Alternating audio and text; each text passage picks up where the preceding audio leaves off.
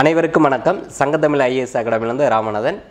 தந்தை பெரியாரை பற்றி பார்க்கலாம் இன்னைக்கு தந்தை பெரியாரை பற்றி டிஎன்பிசியில் வினாக்கள் எப்படியெல்லாம் இடம்பெறுகிறது? ஏன்னா அவருடைய வரலாறு பார்த்தோம்னா புக்கு புக்காக இருக்கும். அதெல்லாம் நம்ம படிக்க முடியாது. நம்ம டிஎன்பிசி எக்ஸாம் பேங்கில் group one group two group four அந்த கேட்டகரியில் நடைபெறுகிற அனைத்து வித விதமான போட்டித் தேர்வுகளுக்கும் புக்கில் ஸ்கூல் புக்கு நம்ம நியூ புக்காக இருக்கட்டும் ஓல்டு புக்கு சமச்சீராக இருக்கட்டும் அதில் பெரியாரை பற்றி என்னென்ன தொகுப்பாக கொடுத்துருக்காங்க அப்படிங்கிறத பற்றி தான் இந்த வீடியோ தொகுப்பில் பார்க்க போகிறோம் இப்போ பெரியாரோட ஃபஸ்ட்டு பிறப்பு அப்படிங்கிறது ரொம்ப முக்கியமான விஷயம் ஓகேங்களா? பெரியார் பிறந்த ஆண்டு எயிட்டீன் செவன்டி நைன் செப்டம்பர் பதினேழு ஓகேங்களா? பெரியார் எங்கே பிறக்கிறாங்கன்னா ஈரோடில் பிறக்கிறாங்க. அதனால தான் ஈவேரா அப்படின்னு அழைக்கப்பட்டார். ஈ அப்படிங்கிறது ஈரோடு வேங்கிறது வெங்கடப்ப நாயக்கர் ரா அப்படிங்கிறது ராமசாமி. அதான் ஈவேரா ஓகேங்களா? இவருடைய இளமை பருவம்ங்கிறது நம்ம டிஎன்பிசியில் வினாக்கள் ரொம்ப இ- வராது. அதில் ரொம்ப முக்கியமான ஃபஸ்ட்டு கண்டென்ட்டில் என்ன விஷயங்களை மையப்படுத்துகிறேன் அப்படின்னா இவருடைய முதல் அதாவது அரசியல் சம்பந்தமான முதல் முயற்சி முதல் செயல்பாடு எல்லாமே வந்து எப்போ ஆரம்பிக்கப்படுகிறது அப்படின்னா ஆயிரத்தி தொள்ளாயிரத்தி அஞ்சுலேருந்து ஆயிரத்தி தொள்ளாயிரத்தி எட்டு வரை நடைபெற்ற ஒரு முக்கியமான நிகழ்வு என்ன அப்படின்னா பிளேக் நோய். அந்த நோய் அந்த காலகட்டத்தில் பெரியார் என்ன பண்ணுறாருன்னா மக்கள் எல்லாம் அந்த நோயை கண்டு பயந்து அஞ்சு ஒடுங்கிய காலகட்டத்தில் தந்தை பெரியார் மக்களுக்கு சேவை செய்கிறார். மக்களுடைய அந்த தன்னுடைய சமூக பணியில் ஈடுபடுகிறது. அதுதான் அவருடைய முதல் அனுபவமாக இருக்கிறது. அதன் பிறகு ஆயிரத்தி தொள்ளாயிரத்தி பதினேழாம் ஆண்டு அவருடைய பணிகளெல்லாம் பார்த்துட்டு ஈரோடு நகர மக்கள் என்ன பண்ணுறாங்கன்னா ஈரோடு நகர சபை தலைவராக தந்தை பெரியாரை நியமனம் செய்கிறாங்க அது ரொம்ப முக்கியமான விஷயம். ஆயிரத்தி தொள்ளாயிரத்தி பதினேழாம் ஆண்டு ஈரோடு நகர சபை தலைவராக தந்தை பெரியாரை நியமனம் செய்கிறாங்க ஈரோடு மக்கள். அதன் பிறகு ஆயிரத்தி தொள்ளாயிரத்தி பத்தொம்போது காலகட்டத்தில் காங்கிரஸில் இணைகிறாரு. எதனால் இவர் காங்கிரஸில் இணைகிறாரு அப்படின்னு பார்த்தோம்னா ஆயிரத்தி தொள்ளாயிரத்தி பதினேழில் ஈரோடு நகரசபை தலைவராக தேர்ந்து செய்யப்பட்ட தந்தை பெரியார் அதே காலகட்டத்தில் சேலத்தில் நகரசபை தலைவராக நம்ம சேலத்து மாமலம் என்று வர்ணிக்கப்பட்ட ராஜாஜி அவர்களும் தேர்வு செய்யப்படுவார். அவங்க இருவருக்குமே ஒரு நட்பு உருவாகிறது. அதன் அடிப்படையில் ராஜாஜி அவர்கள் தந்தை பெரியாருக்கு என்ன சொல்கிறார் என்றால் இந்த இந்திய தேசிய காங்கிரஸ் கட்சியை பற்றி ஒரு புரிதலை ஏற்படுத்துகிறார் அந்த கொள்கைகளை விளக்குகிறார். அதன் பிறகு தன்னை தந்தை பெரியார் ஆயிரத்தி தொள்ளாயிரத்தி பத்தொம்போதாம் ஆண்டு இந்திய தேசிய காங்கிரஸ் கட்சியில் இணைத்துக் கொள்கிறார். அது ரொம்ப முக்கியமான விஷயம். டிஎன்பிசி வினாத்தொகுப்பில் எல்லாமே இது மாதிரி தான் இடம்பெறும். தந்தை பெரியார் எந்த ஆண்டு இந்திய தேசிய காங்கிரஸ் கட்சியில் தன்னை இணைத்து கொண்டார் அப்படிங்கிற வினாக்கள் அது மாதிரி கேட்டகிரியில் அடுத்தடுத்து நம்ம பார்க்கலாம். அது ரொம்ப முக்கியமான விஷயம். தன்னை ஆயிரத்தி தொள்ளாயிரத்தி பத்தொன்பதாம் ஆண்டு தன்னை இந்திய தேசிய காங்கிரஸ் கட்சியில் இணைத்து கொண்ட பெரியார் அடுத்தடுத்த நிகழ் நிகழ்- நிகழ்வுகள் போராட்டங்களில் தன்னை ஈடுபடுத்திக் கொள்கிறார். அதுக்கடுத்த போராட்டம் தான் ஒத்துழையாமை இயக்கம் நான் கார்ப்பரேஷன் மூமெண்ட் அந்த ஒத்துழையாமை இயக்கத்தில் தந்தை பெரியார் தன்னை ஈடுபடுத்தி கொண்டு சிறைக்கு செல்கிறார். அதன் பிறகு கள்ளுக்கடை மறியல் போராட்டம். கள்ளுக்கடையில் மறியல் போராட்டத்தையும் பெரியார் தன்னை ஈடுபடுத்திக் கொள்கிறார். அது ரொம்ப முக்கியமான விஷயம். கள்ளுக்கடை மறியல் போராட்டம்னா ஆயிரத்தி தொள்ளாயிரத்தி இருபத்தி ஒன்றாம் ஆண்டு நீங்கள் நினைவில் வைத்துக்கொள்ள வேண்டும். அதில் வந்து பெரியார் தன்னுடைய மனைவி அவர்களையும் தன்னுடைய தங்கையான கண்ணம்பாள் அவர்களையும் ஈடுபடுத்தி இருப்பார். ஓகேங்களா? பெண்கள் பெரியார் வந்து ஆணுக்கு பெண் இழப்பில்லை அப்படின்னு என்று சிந்தித்தவர் தந்தை பெரியார். அதன் அடிப்படையில் கண்ணம்மாள் அப்படிங்கிற தன்னுடைய தங்கைக்கு தங்கையோட மகளான ஒரு பெண்மணிக்கு விதவை திருமணத்தையும் நடத்தி வைப்பார். அது ரொம்ப முக்கியமான விஷயம். ஆணுக்கு பெண் இழைப்பில்லை என்று சிந்தித்த பெரியார் இது மாதிரி நிகழ்வுகள் பகுத்தறிவான விஷயங்களை பல விஷயங்கள் பண்ணியிருப்பார். ஓகேங்களா? அடுத்தடுத்து அதை விஷயங்களை பார்க்கலாம். இப்போ ஆயிரத்தி தொள்ளாயிரத்தி இருபத்தி ஒன்றாம் ஆண்டு கள்ளுக்கடை மறியல் போராட்டம் அப்படிங்கிறது நீங்கள் நினைவில் வைத்துக்கொள்ள வேண்டும். அதன் பிறகு தந்தை பெரியார் கள்ளுக்கடை மறியல் போராட்டத்தின் விளைவாக கோயம்புத்தூர் சிறையில் அடைக்கப்படுகிறார். கோயம்புத்தூர் சிறையில் அடைக்கப்பட்டு பின்னர் விடுதலையாகி ஆயிரத்தி தொள்ளாயிரத்தி இருபத்தி மூணாம் ஆண்டு தந்தை பெரியார் சென்னை மாநிலத்துக்கு சென்னை மாகன் மாநிலத்துக்கு காங்கிரஸ் கட்சியினுடைய தலைமை நிர்வாகியாக தேர்வு செய்யப்படுகிறார். சென்னை மாநிலத்திற்கு காங்கிரஸ் கட்சியினுடைய தலைமை நிர்வாகியாக தந்தை பெரியார் நியமனம் செய்யப்படுகிறார். அதன் பின்னர் அதே இருபத்தி மூணாம் ஆண்டு தலைவராகவும் தேர்வு செய்யப்படுகிறார். இருபத்தி மூணாம் ஆண்டு தலைவராகவும் தேர்வு செய்யப்படுகிறார். ஓகேங்களா? இதில் ஒரு சில புத்தகங்களில் பழைய புத்தகங்களில் இருபத்தி ரெண்டாம் ஆண்டு நிர்வாகியாகவும் தலைவராக இருபத்தி மூன்றாம் ஆண்டில் குறிப்பிடப்பட்டு இருக்கும் அதை நீங்கள் நினைவில் வைத்துக்கொள்ள வேண்டும். அதன் பின்னர் பெரியார் காங்கிரஸ் கட்சியினுடைய தலைவராக தேர்வு செய்யப்பட்ட பின்னர் காங்கிரஸ் கட்சியினுடைய நிதியுதவியுடன் செயல்பட்டு கொண்டிருந்த சேரன் மாதவி குருகுல கல்விக்கு பார்வையிட செல்கிறார் திருநெல்வேலி. அந்த குருகுல கல்வியை நடத்தியவர் வாவேசு ஐயர். வராகநேரி வேங்கடப்ப ஐயர் என்று சொல்ல சுப்பிரமணிய ஐயர் என்று சொல்லப்பட்ட வாவேசு ஐயர் நடத்திய குருகுல கல்வியை பார்வையிட போகிறார். அந்த குருகுல கல்வியில் பெரியார் ஒரு சம்பவத்தை மையப்படுத்துகிறார். என்னவென்றால் அந்த பொருளாதார ரீதியாகவும் ஜாதி ரீ- ரீதியாகவும் வர்ணாசிரம ரீதியாகவும் சில சம்பவங்களை பெரியார் மையப்படுத்துகிறார். அதனுடைய விளைவாக பெரியார் மனக்கசப்புடன் வந்து அந்த குருகுல கல்வியிலிருந்து வெளியே வந்து வருகிறார். வந்த பிறகு உடனடியாக பெரியாருக்கு ஒரு அழைப்பு வருகிறது. அந்த அழைப்பின் விளைவாக பெரியார் கேரளா பகுதியில் போகிறார். அந்த அழைப்பு விடுத்தவர் ரொம்ப முக்கியமான நபர் சார்ஜ் சோசப் அப்படிங்கிறவர். சார் சோசப் அப்படிங்கிறவர் அழைப்பு விடுக்கிறார். கேரளா பகுதிக்கு வருமாறு. அந்த கேரளா பகுதியில் வைக்கம் என்ற இடத்தில் என்ன நிகழ்வு நடக்கிறது என்றால் அந்த வைக்கம் பகுதியை சுற்றி மக்கள் எல்லாம் நடமாடக்கூடாது அப்படின்னு சொல்கிறாங்க என்ன காரணம் என்றால் அந்த வைக்கம் பகுதியில் கோவில் இருக்கிறது. அந்த கோவில் நான்கு புறத்திலும் அந்த பொருளாதார தாழ்த்தப்பட்ட பட்டியலிருந்த மக்கள் செல்லக்கூடாது என்ற அந்த கட்டமைப்பு அந்த கட்டளை இடப்படுகிறது.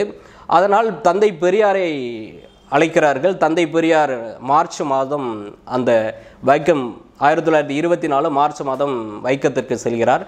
வைக்கத்தின் போராட்டம் வெற்றியடைகிறது. வைக்கத்தின் போராட்டம் வெற்றியடைந்த பின்னர் திருவிகா அவர்கள் நவசக்தி என்ற நாளிதழில் வைக்கம் வீரர் என்று தந்தை பெரியாரை புகழாரம் சூட்டுகிறார். ரொம்ப முக்கியமான விஷயம் அது. அதன் பின்னர் பெரியார் வந்து ஆயிரத்தி தொள்ளாயிரத்தி இருபத்தி ஐந்தாம் ஆண்டு காஞ்சிபுரம் மாநாடு காஞ்சிபுர காங்கிரஸ் மாநாட்டில் பங்கெடுத்துகிறார். அந்த மாநாட்டினுடைய தலைமை தலைமையாக திருவிகா அவர்கள்தான் தலைமையாக இருக்கின்றார். பெரியாருடைய கோரிக்கை என்னவென்றால் வகுப்பாத பிரதிநிதித்துவம் இடஒதுக்கீடு ஜாதி வாரியாக இடஒதுக்கீடு பிராமணர் அல்லாத இடஒதுக்கீடு என்றெல்லாம் எல்லாம் ஒரே மீனிங் தான். அந்த தீர்மானத்தை பெரியார் அவர்கள் முன்வைக்கிறார். அந்த தீர்மானம் ஏற்றுக்கொள்ளப்படவில்லை. அதனால் த- வேதனையுடன் அந்த காங்கிரஸ் கட்சியில் இருந்து ஆயிரத்தி தொள்ளாயிரத்தி இருபத்தி ஐந்தாம் ஆண்டில் விலகுகிறார். காங்கிரஸ் கட்சியில் இருந்து ஆயிரத்தி தொள்ளாயிரத்தி இருபத்தி ஐந்தாம் ஆண்டில் தந்தை பெரியார் விலகுகிறார். விலகிய பின்னர் தந்தை பெரியார் அதே ஆண்டில் குடியரசு என்ற வார இதழை தொடங்குகிறார். குடியரசு என்ற வா வார இதழை தொடங்குகிறார். அந்த குடியரசு என்ற வார இதழுக்கு முன்மாதிரியாக ஒரு அமைப்பையும் வடிவமைக்கிறார். அதாவது சுயமரியாதை இயக்கம்.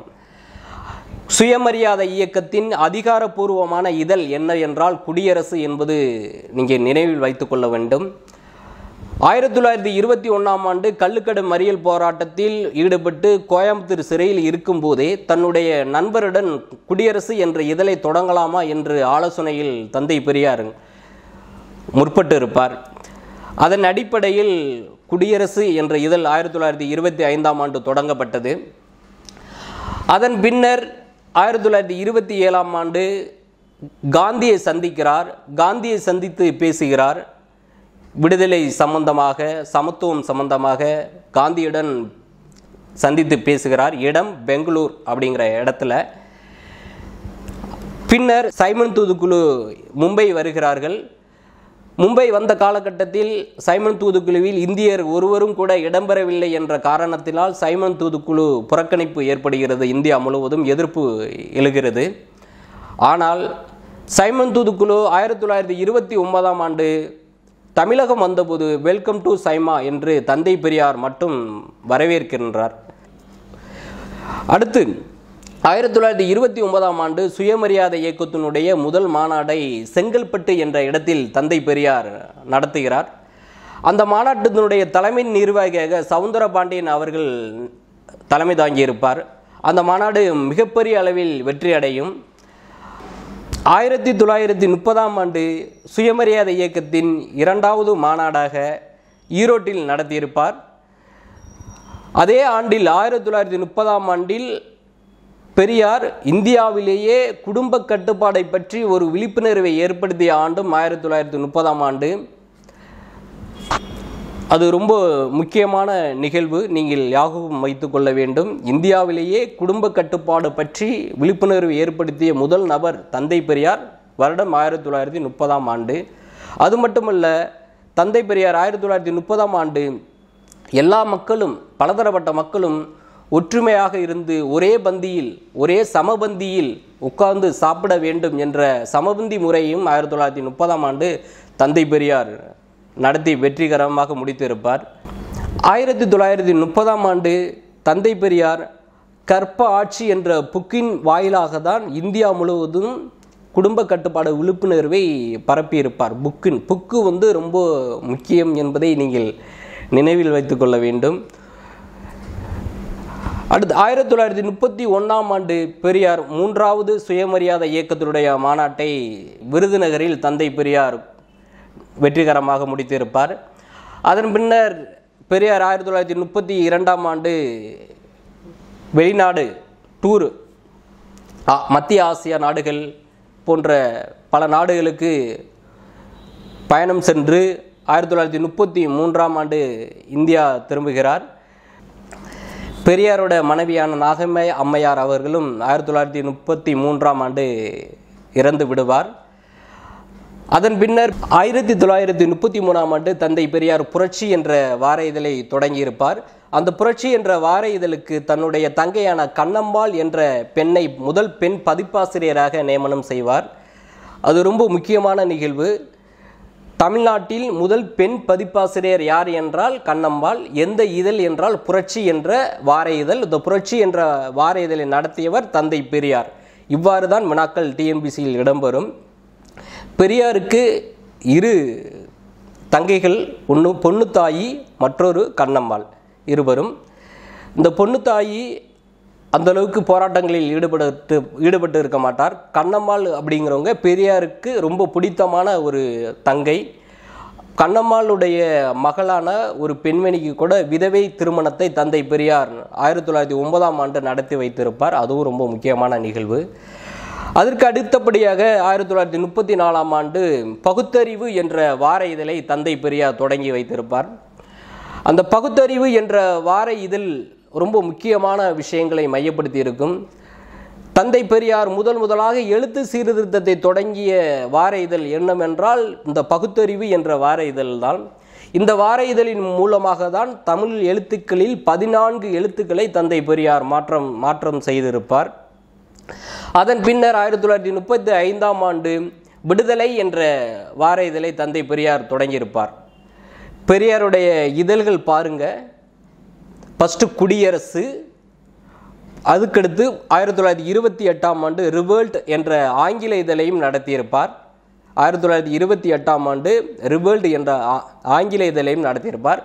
அதன் பின்னர் முப்பத்தி மூணாம் ஆண்டு புரட்சி அதற்கடுத்து முப்பத்தி நாலாம் ஆண்டு பகுத்தறிவு முப்பத்தி ஐந்தாம் ஆண்டு விடுதலை என்ற ஐந்து இதழ்களை பெரியார் நடத்தியிருக்கார். அது ரொம்ப முக்கியமான இந்த வரிசை பிரகாரம் கூட டிஎன்பிசியில் ஒரு சில டைமில் கேட்டிருக்காங்க. நீங்களும் நினைவு வைத்து கொள்ளுங்கள். அதற்கு அடுத்தபடியாக பெரியார் ஆயிரத்தி தொள்ளாயிரத்தி முப்பத்தி ஏழு முப்பத்தி எட்டு அந்த காலகட்டத்தில் ஹிந்தி எதிர்ப்பு போராட்டத்தில் ஈடுபடுவார். அந்த ஹிந்தி எதிர்ப்பு போராட்டத்தில் பெண்கள் பல பேர் ஈடுபடுவார்கள். Dharmambal S doctor S Dharmambal அம்மையார் அவர்களும் ஹிந்தி எதிர்ப்பு போராட்டத்தில் பங்கெடுத்துக் கொள்வார். அதன் பின்னர் ஆயிரத்தி தொள்ளாயிரத்தி முப்பத்தி எட்டாம் ஆண்டு சென்னை பகுதியில் பெண்கள் மாநாடு நடைபெறும். அந்த பெண்கள் மாநாட்டில் மறைமலை அடிகளுடைய மகளான நீலாம்பிகை அம்மையார் தலைமையில் நடைபெறும். அந்த நீலாம்பிகை அம்மையார் தலைமையில் நடைபெற்ற அப்பெண்கள் மாநாட்டில் ஈவே ராமசாமி நாயக்கர் அவர்களுக்கு பெரியார் என்ற பட்டத்தை வழங்கிய மாநாடு அம்மாநாடு பெண்கள் மாநாடு சென்னையில் நடைபெற்றது. நீங்கள் நினைவு வைத்து கொள்ள வேண்டும் இது எல்லாமே டிஎன்பிசியோட முக்கியமான வினாக்கள் அந்த பெரியார் என்ற பட்டத்தை வழங்கியவர் டாக்டர் எஸ். தர்மாம்மாள் அப்படிங்கிறவங்க தான். வீர தமிழன்னை என்று புகழுக்கு சொந்த பெண்மணி அவங்க. வீர தமிழன்னை என்று புகழப்பட்ட பெண்மணி அவங்க எஸ். Doctor S. தர்மாம்பாள் அவங்க. அதன் பின்னர் ஆயிரத்தி தொள்ளாயிரத்தி முப்பத்தி எட்டு காலகட்டத்தில் தந்தை பெரியார் பெல்லாரி சிறையில் இருப்பார். பெல்லாரி என்ற இடத்தில் சிறையில் இருப்பார். அந்த காலகட்டத்தில் நீதி கட்சி பெரியாரினுடைய உதவியை நாடியது. தந்தை பெரியார் சம்மதித்தார் நாங்கள் உதவி செய்கிறேன். என்றால் ஏனென்றால் பெரியார் இந்திய தேசிய காங்கிரஸ் கட்சியை புறக்கணித்தார். அதனுடைய விளைவாக நீதி கட்சிக்கு ஆதரவு அவங்க கேட்டதுக்கு இணங்க ஆதரவு நல்குவார். நீதி கட்சி அந்த ஆண்டு கேட்கறதுக்கான காரணம் என்ன என்ன என்னவென்றால் நீதி கட்சியினுடைய ஆட்சி ஆயிரத்தி தொள்ளாயிரத்தி இருபதில் தொடங்கி ஆயிரத்தி தொள்ளாயிரத்தி முப்பத்தி ஏழு வரையும் ரொம்ப சீரும் சிறப்புமாக இருக்கும். முப்பத்தி ஏழுக்கு பிறகு பதினேழு ஆண்டுகளுக்கு பிறகு நீதி கட்சியினுடைய வீழ்ச்சி ரொம்ப படிப்படியாக அதிகரித்து கொண்டே இருக்கும். அதனால் தந்தை பெரியாருடைய உதவியை நாடினார்கள். தந்தை பெரியார் பெல்லாரி சிறையில் இருப்பார். சிறையில் இருக்கும்போது நீங்கள் என்ன சிறை பறவையா? எப்போ பார்த்தாலும் சிறைக்கே செல்கிறீர்கள் என்று நக்கலாக சில பேர் நீதி கட்சியினுடைய தலைவர்கள் சொல்வார்கள். சிறைப்பறவை என்று வர்ணிக்கப்பட்டவர் தந்தை பெரியார். ரெண்டாயிரத்தி இருபத்தி ஒன்றாம் ஆண்டு குறுப்பன் தேர்வில் கேட்கப்பட்ட கேள்வி. இது மாதிரி வினாக்கள் நீங்கள் நினைவில் வைத்துக் கொள்ள வேண்டும். சிறை பறவை என்று வர்ணிக்கப்பட்டவர் தந்தை பெரியார். பெல்லாரி சிறையில் இருக்கும்போது அந்த விஷயங்களை மையப்படுத்தியிருப்பாங்க. பதினைந்து ஆண்டுகளில் இருபத்தி மூன்று முறை சிறைவாசகம் சென்றார் தந்தை பெரியார். ஆனால் பெரியாருடைய மூல புத்தகங்களில் நூறுக்கும் மேற்பட்ட முறைகள் பெரியார் சிறைவாசகம் சென்றதாக குறிப்பிடப்பட்டுள்ளது. ஆயிரத்தி தொள்ளாயிரத்தி முப்பத்தி எட்டாம் ஆண்டு தந்தை பெரியார் நீதி கட்சிக்கு ஆதரவாக சில விஷயங்களை முன்னெடுப்பார். அதன் விளைவாக நீதி கட்சி மாநாடு ஒன்றை கூட்டுவார். அந்த முப்பத்தி ஏழாம் ஆண்டு பெல்லாரி சிறையில் இருக்கும்போது தமிழ்நாட்டினுடைய நீதி கட்சியினுடைய தலைவராக தந்தை பெரியார் நியமனம் செய்யப்படுவார். அதுவும் ரொம்ப முக்கியமான நிகழ்வு. ஆயிரத்தி தொள்ளாயிரத்தி முப்பத்தி எட்டாம் ஆண்டு பெல்லாரி சிறையில் இருக்கும்போதே தந்தை பெரியார் நீதி கட்சியினுடைய தலைவராக தேர்வு செய்யப்படுவார். பின்னர் முப்பத்தி ஒன்பதாம் ஆண்டு பெரியார் நீதி கட்சியினுடைய மாநாட்டை கூட்டி திராவிட நாடு திராவிடர்க்கே என்ற கோரிக்கையை முன்வைப்பார். அதன் பின்னர் ஆயிரத்தி தொள்ளாயிரத்தி நாற்பதாம் ஆண்டு ரொம்ப முக்கியமான நிகழ்வு என்னவென்றால் இந்திய தேசிய காங்கிரஸ் கட்சி சார்பாக தமிழகத்தில் ஆட்சி நடைபெற்று கொண்டிருக்கும். இரண்டாம் உலகப் போரில் எவ்வித முன் அறிவிப்புமின்றி இந்தியர்களை ஈடுபடுத்திய காரணத்துக்காக காங்கிரஸ் அமைச்சரவை பதவி விலகிவிடும் ஆயிரத்தி தொள்ளாயிரத்தி முப்பது முப்பத்தி ஒன்பதாம் ஆண்டு. அதன் பின்னர் அமைச்சரவை யாரும் அமைக்காத முன்வராத காரணத்தினால் பெரியாரை நீங்கள் அமைச்சரவை அமைங்க அப்படின்னு முன்னெடுத்து சொல்லியிருப்பாங்க.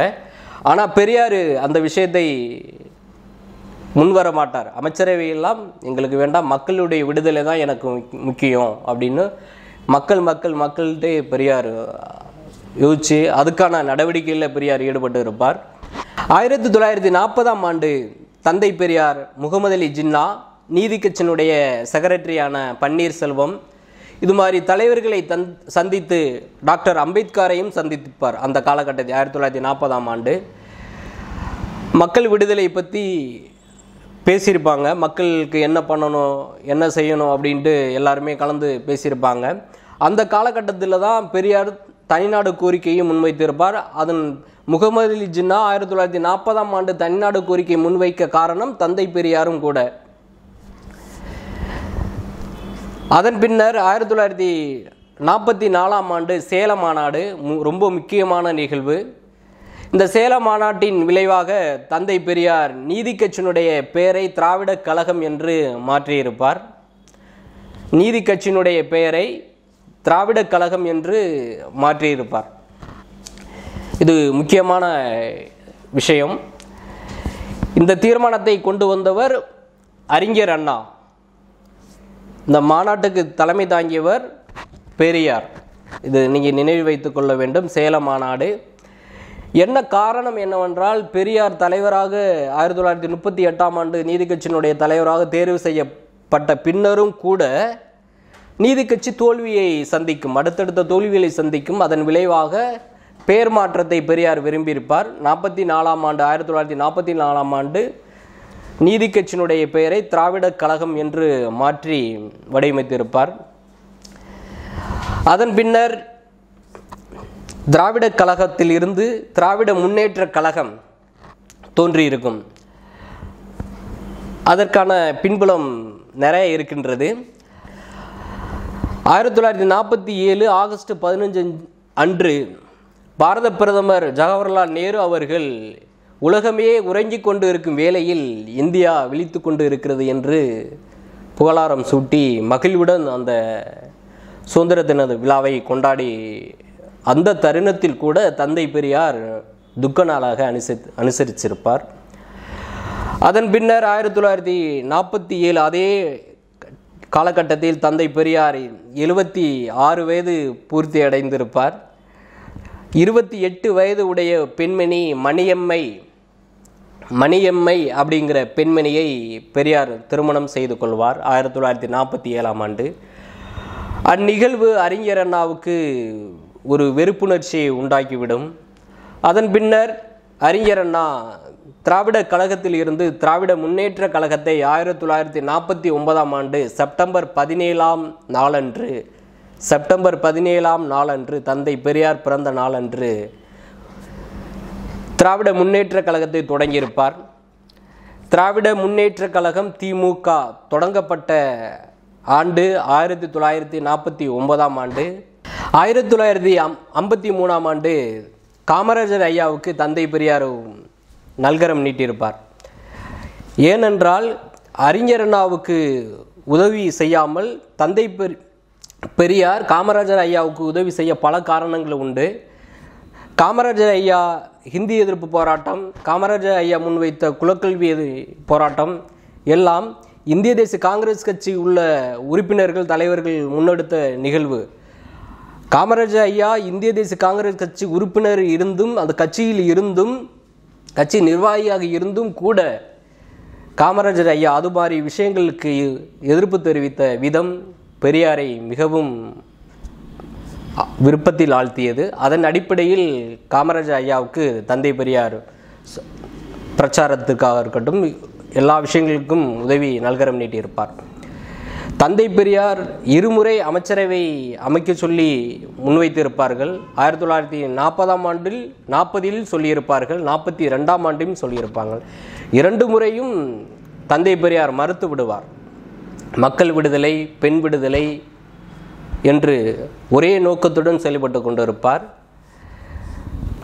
ஆயிரத்தி தொள்ளாயிரத்தி இருபத்தி ஐந்தில் ஆரம்பிக்கப்பட்ட சுயமரியாதை இயக்கம் இந்தியா முழுவதிலும் தற்போதே தன்னுடைய நோக்கமாக கொண்டிருந்த தந்தை பெரியார் இது மாதிரி அமைச்சரவை அமைக்க முன் அமைச்சரவை அமைக்க முன்வராத காரணமாக கூட இருக்கலாம். அதில் இன்னொரு முக்கியமான நிகழ்வு அந்த குடியரசு அப்படிங்கிற இதழ் ஆயிரத்தி தொள்ளாயிரத்தி இருபத்தி ஐந்தாம் ஆண்டு தொடங்கப்பட்ட இதழ். அந்த இதழை தொடங்கி வைத்தவர் திரு திருப்பாதி புலியூர் நாணி நாணியார் அடிகள் திருப்பாது புலியூர் நாணியார் அடிகள் அவர்கள்தான் தொடங்கி வைத்திருப்பார்கள். மே மாதம் இரண்டாம் தேதி ஆயிரத்தி தொள்ளாயிரத்தி இருபத்தி ஐந்தாம் நாளன்று. அதுவும் நீங்கள் கோர்வையாக யாவும் வைத்துக் கொள்ளுங்கள். அதற்கடுத்து ஆயிரத்தி தொள்ளாயிரத்தி ஐம்பத்தி ஆறாம் ஆண்டு தட்சிண பிரதேசம் என்று தட்சிண பிரதேசம் என்று ஒரு பிரிவினை மாநில பிரிவினை கொள்கை அந்த காலகட்டத்தில் பெரிய சர்ச்சைக்கு உள்ளானது. அதை அறிந்த தந்தை பெரியார் காமராஜர் ஐயா அவர்களுக்கும் பாரத பிரதமர் நேரு ஐயா அவர்களுக்கும் கடிதத்தின் வாயிலாக இந்த நிகழ்வுக்கு இந்த பிரச்சனைக்கு நல் நல்லதொரு முடிவு காணுங்கள் என்று தந்தியின் வாயிலாக ஒரு கோரிக்கையை முன்வைத்திருப்பார்.